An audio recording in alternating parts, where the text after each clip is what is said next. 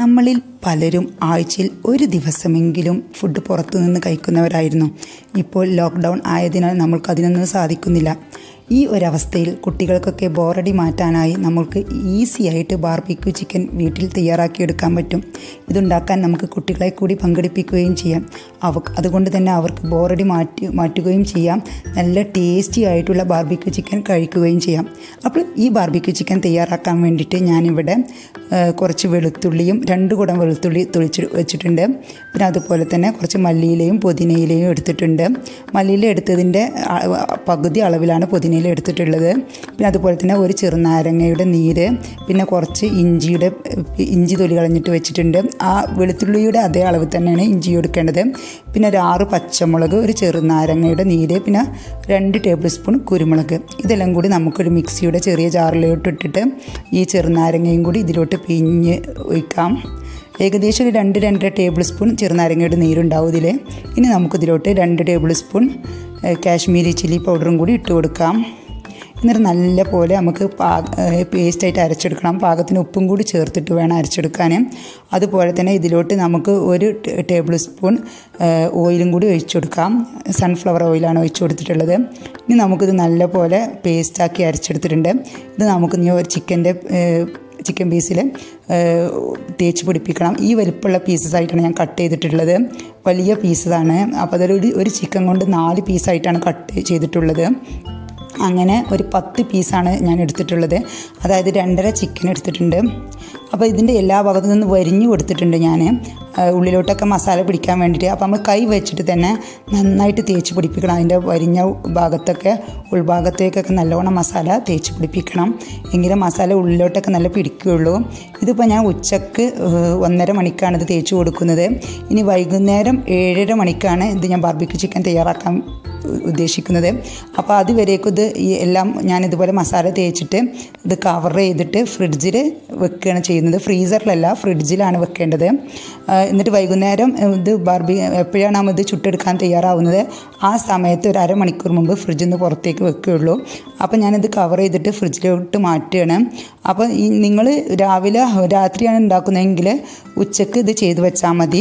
നമ്മൾ രാവിലെ ലഞ്ചിനുള്ളൊക്കെ സമയത്ത് തയ്യാറാക്കുന്ന സമയത്ത് ഇതിലേക്കുള്ള വെളുത്തുള്ളിയും ഇഞ്ചിയൊക്കെ ഒന്ന് തൊലി കളഞ്ഞ് വെച്ചാൽ മതി. പിന്നെ കുളിയൊക്കെ കഴിഞ്ഞിട്ട് ഫ്രഷ് ആയതിനു ശേഷം ഒന്ന് ഇത് ചെയ്താൽ മതി.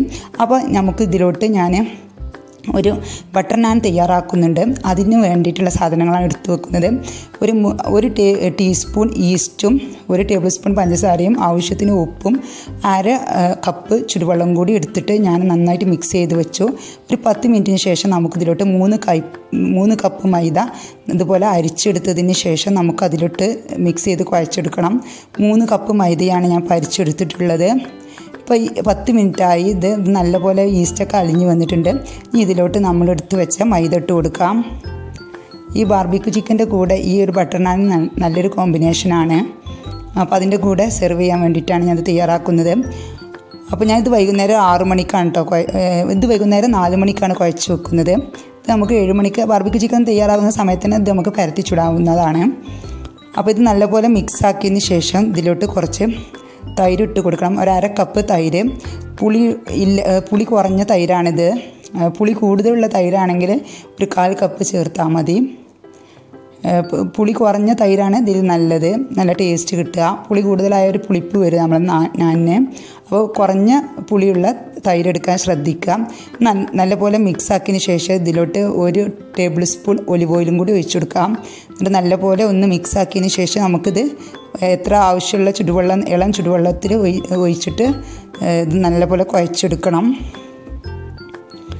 നല്ലപോലെ കുഴച്ചെടുക്കുക. ഇതുപോലെ കുഴച്ചെടുത്തതിന് ശേഷം നമുക്ക് ഒരു ഒലിവ് ഓയിൽ തേച്ച ഒരു പാത്രത്തിൽ നമുക്കിതൊന്ന് എടുത്തിട്ട് വെക്കണം. അങ്ങനെ ബോളാക്കിയിട്ട് വെക്കണം. ഒരു മിനിമം രണ്ട് മണിക്കൂർ വെക്കണം.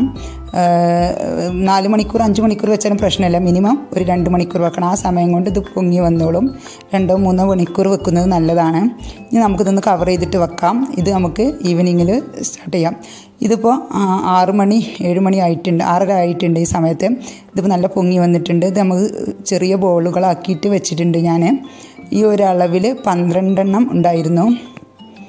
ഇനി ഇതുപോലെ നമുക്ക് കുറച്ച് പൊടി ഇട്ടിന് ശേഷം കൗണ്ടർ ടോപ്പിൽ ഇട്ടിട്ടൊന്ന് പരത്തിയെടുക്കാം. സാധാരണ ചപ്പാത്തിയൊക്കെ പര- പരത്തുന്ന പോലെ കുറച്ച് നെയ്സായിട്ട് പരത്തരുത്. കുറഞ്ഞൊരു കനത്തിൽ വേണം അത് പരത്തിയെടുക്കാൻ വേണ്ടിയിട്ട്. നമ്മൾ സാധാരണ കുബൂസൊക്കെ ഉണ്ടാ കാണില്ല അപ്പോൾ കുറച്ചൊരു കട്ടി ഉണ്ടാവുമല്ലോ? ആ കട്ടിയുള്ള രീതിയിലാണ് ഇത് വേണ്ടത്. ഇനിയിപ്പോൾ പാൻ വെച്ചിട്ടുണ്ട്. നല്ല ചൂടായ ശേഷം നമുക്കിത് ഇട്ട് കൊടുക്കാം. ചൂടായതിന് ശേഷം ഇട്ട് കൊടുത്തതിന് ശേഷം ഇട്ട് കൊടുത്ത ഒരു മുപ്പത് സെക്കൻഡ് കഴിഞ്ഞ ഉടൻ തന്നെ ഒന്ന് മറിച്ചിടാം. രണ്ടും അങ്ങനെ മറിച്ചിട്ട് കൊടുക്കാം. ഇനി നല്ലപോലെ ആയതിനു ശേഷം മറ്റേ ഭാഗം നല്ലപോലെ കുക്കായതിനു ശേഷം മറിച്ചിട്ട് കൊടുത്താൽ മതി. എന്നിട്ട് ഇങ്ങനെ പ്രസ് ചെയ്ത് കൊടുത്താൽ മതി. ഇങ്ങനെ പ്രസ് ചെയ്യുമ്പോൾ നമുക്കിത് നല്ലപോലെ പൊങ്ങി വരും. രണ്ട് പൊങ്ങിയതിന് ശേഷം ചൂടോട് കൂടി തന്നെ നമുക്ക് ബട്ടർ തേച്ച് കൊടുക്കാം. ഇത് നിങ്ങൾ ബട്ടർ തേക്കാതെയും നിങ്ങൾക്ക് നാനായിട്ട് ഉപയോഗിക്കാം. ഇത് ബട്ടർ നാൻ ആയതുകൊണ്ട് ഞാൻ ചൂടോട് ബട്ടർ തേക്കുകയാണെങ്കിൽ ചൂടോട് കൂടി തന്നെ തേച്ച് കൊടുക്കണം. ഇതിന് ശേഷം ഇതൊരു കസറോളിൽ ഇട്ട് നമുക്ക് സൂക്ഷിക്കാം. ഇനി നമുക്ക് ബാർബിക്യൂ ചിക്കൻ തയ്യാറാക്കാം. ഏഴ് മണിയായി. ഞാനിത് നമ്മുടെ വീട്ടിലൊക്കെ ഉള്ള ആലുവാടുപ്പിലാണ് ഇത് തയ്യാറാക്കുന്നത്.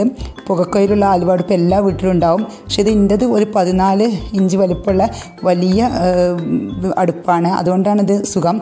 അപ്പോൾ അതിന്റെ അടുത്തുള്ള ഒരു ഹോൾ ഞാൻ ഈ ഗ്രാനൈറ്റ് പീസ് വെച്ചിട്ട് മറച്ച് വെച്ചിട്ടുണ്ട്. അടച്ചു വെച്ചിട്ടുണ്ട്. ഈ ഒരു അടുപ്പിലോട്ട് ഞാൻ അടിയിൽ ഒരു ലെയർ ചകിരി ഇട്ട് കൊടുത്തിട്ടുണ്ട്. നമ്മൾ തേങ്ങ പൊളിച്ച ചകിരി ഉണ്ടല്ലോ അതിട്ട് കൊടുത്തിട്ടുണ്ട്. അതിന് മുകളിലായിട്ട് നമുക്ക് ചിരട്ട ഇട്ട് കൊടുക്കണം. അതിന് ആദ്യം ചെയ്യേണ്ടത് അടിയിലുള്ള ചിരട്ടയിൽ ഒരു ചിരട്ടയിൽ നമ്മൾ കുറച്ച് മണ്ണെണ്ണ ഒഴിച്ചിട്ട് അടിഭാഗത്ത് വെക്കണം. എന്നിട്ട് അതിന്റെ മുകളിലോട്ട് ഇതുപോലെ ചിരട്ട ഇങ്ങനെ കമിത്തി കമിത്തി കമിഴ്ത്തി വെക്കണം.